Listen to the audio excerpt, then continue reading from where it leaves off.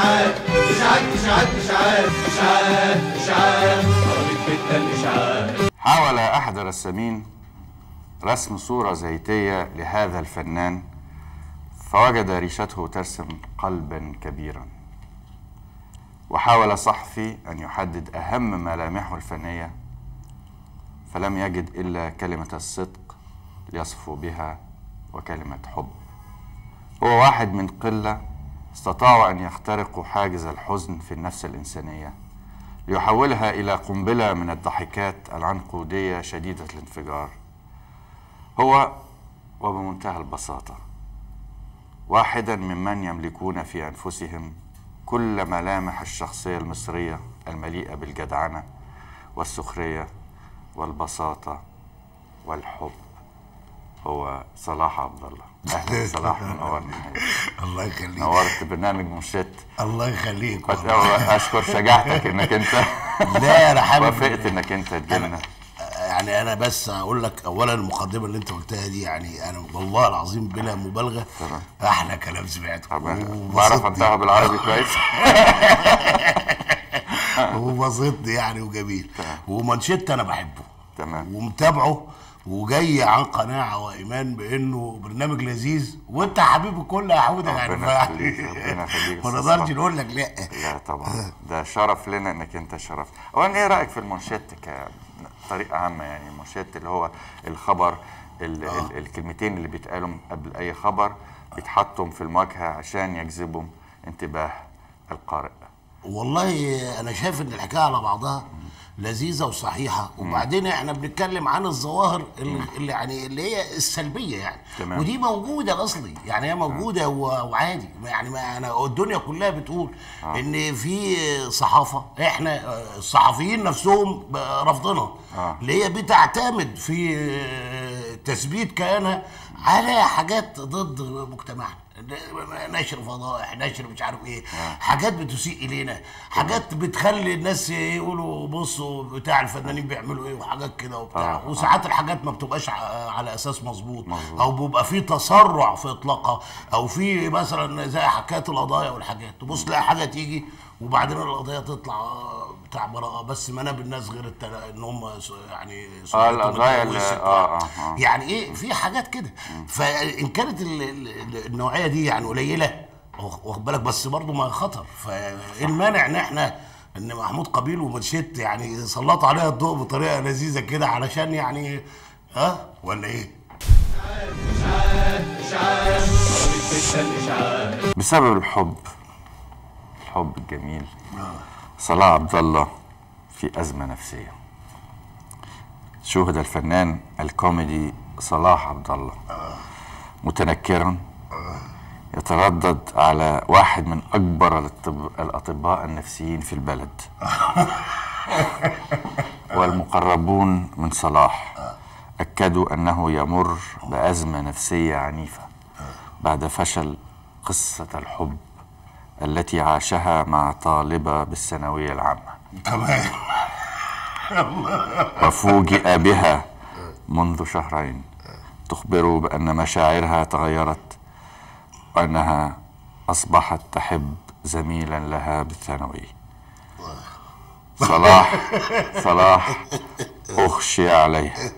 من هول المفاجأة حتى كاد أن يسقط في النيل الذي كان يجلسان عليه. عند كوبري عباس ده فيلم ده, فيلم مش مش خبر سينمائي ده فيلم أستاذ آه، إيه صحة هذا أستاذ؟ لا بره صحته بالعدامه هو لذيذ بصراحة هو لذيذ آه آه آه لذيذ أنت عارف آه، أستاذ محمود أنا كنت جاي النهارده إيه نفسي تقول لي حاجة أقول لك يعني آه حصلت آه. عايز أبقى كنت يعني آه، آه، آه. مختلف عن ال لا، ما حصلش. بس هو دمه خفيف. يعني إيه اولا إيه حكاية الفشل في الحب دي؟ أنا عشت قصص حب كتير قوي وكلها والحمد لله فشلت. آه لغاية ما اتجوزت وتوقفت القصص. آه طب الحمد خلاص. لله. الحمد لله. واخد بالك؟ دي القاضية أصلا آه. بتوقف أي قصص وحركات. ف- هي فضلت عليا الواد اللي في الإعدادي ده. بتاع طب بقى. لا خلاص آه، بتولع بقى. إشاعات إشاعات إشاعات خربت بيتنا الإشاعات عقده مع خالد النبوي بسبب سقوط فيلمه الأخير. سقوط. كان خالد النبوي قد وقع عقد مع المنتج للقيام ببطولة ثلاث أفلام سينمائية. مقابل مبالغ مجزية على أن يزيد أجره في كل فيلم بنسبة 50% طب ده مش مهم ده. حيث فوجئ الممثل الشاب المنتج يقول له أنه مضطر إلى إلغاء العرض بسبب سقوط فيلمه الأخير عمر 2000 خاصة أن الموزعين رفضوا مجرد التفاوض على شراء الفيلم. هذا الفيلم يقوم ببطولته خالد بحجة أن متفرجا لا يمكن أن يخرج من بيته لمشاهدة فيلم من بطولته. آه، ده معلش اسمح لي إن أنا أقول إيه في آه، كلمة اسمها ضرب تحت الحزام. امم بس كتير جدا آه أنا آه. شايف. بس الضرب تحت الحزام جميل برضه. أصله آه الحزام لما يبقى قوي يضربوك تحت الحزام. طبعا. فما يقدروش يضربوا عند الحزام لأنه بيعور الإيد. طبعا. وبعدين يا سيدي أنت لما تتضرب تحت الحزام تبتدي آه، تتخبط شوية. فالوجع ي- يعني يزيد عليك في الأول. وبعد شوية الوجع يقل. ما هيضربه تاني. فالوجع فيبقى عندك مناعة ضد الضرب تحت الحزام. وأنا بتضرب تحت الحزام بالطريقة دي من أول فيلم. من أول فيلم بتضرب تحت الحزام. فعمر 2000 الرد بتاعي إنه الفيلم نمرة 11 تمام. والنهاردة أنا عندي فيلمين سيناريوهين. تمام. يعني آه، بعمل مواعيدي على إني أشوف انه فيهم اللي ادخله الأول. وده برضو أحد نتائج المناعة ضد الضرب تحت الحزام. وما فيهاش حاجة لما نضرب تحت الحزام. ما إحنا فنانين وشخصيات عامة وطارحين نفسنا للدنيا كلها. إيه راي إيه رأي الأستاذ خالد النبوي؟ وبعدين آه معلش اسمح لي بقى إن أنا يعني أنا بحبك جدا فهنسيبك من الأستاذية دي وهقول خالد على طول أستاذية يا حبيبي آه إيه رأي خالد في نظام في الخبر ده في خبر يعني حاجة شدتني إيه رأيك إيه في نظام لا ما هو ده الاحتكار ممكن ده يحصل في هنا هنا في مصر لا يعني ممكن يحصل في العالم كله يعني حتى آه العالم طبعا بره. طبق آه. في هوليوود آه. وحضرتك آه. عارف آه. والاستاذ عمر الشريف كولومبيا احتكروه. سب أول سبع سنين في حياته. حتى هو يعني عانى كتير من مسألة الاحتكار. دي إنما آه طبيعي ممكن قوي وارد إنه يجي واحد يحتكر. آه. بس أنا الحقيقة آه من أول ما طلعت آه واشتغلت مع الأستاذ يوسف شاهين وكانوا متصلين إن أنا محتكر أنا نزلت الحقيقة وده منشط كان على لساني بقى. يعني عشان خلينا نقول في حاجات تبقى على لساننا طبعا كتير. أنا قلت أنا لست محتكرا. أنا مش محتكر. آه لأنه الاحتكار ده بيخليني آه افرض المنتج بتاعي مثلا مش متعاقد مش حابب مثلا واحد زي مخرج كبير قوي مش عايز أقول اسماء تمام.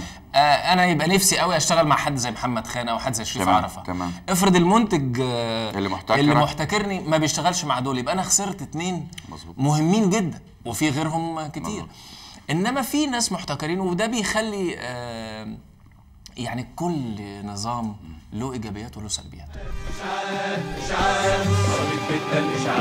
ده خبر آه، فيه مؤامرة خسيسة وقريته أنا الحقيقة قبل ما ما أنت تيجي.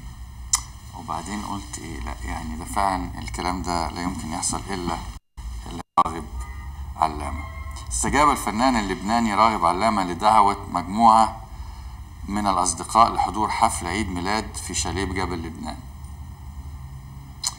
على أن يأخذه الأصدقاء في سيارتهم من أمام الفندق على طريق الجبل.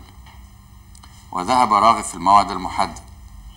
اصطحبه السائق والحارس إلى الشاليه الذي يقع في منطقة نائية أعلى الجبل وفوجئ راغب أنه راح ضحية مؤامرة خسيسة حيث تم خطفه وإيداعه في الشاليه وظل هناك مدة ثلاث أيام إلى أن سمع أحد المزار المزارعين صوت استغاثة فقام بنجدته. أنا لما قريت ده وكنت بقول آه، لمها زميلتنا قلت لها قطعا ستات هم اللي خطفوه. مية المية. فإيه رأيك في الخبر ده؟ آه، فكرني بفيلم لمحمود المليجي. كنت بشوفه أكيد أنا بحمل مسؤولية لمحمود المليجي. فيلا يسرى للبيع. يا ريت. أنا ما عنديش فيلا خالص. إزاي؟ من أولها اهو بقولها لك.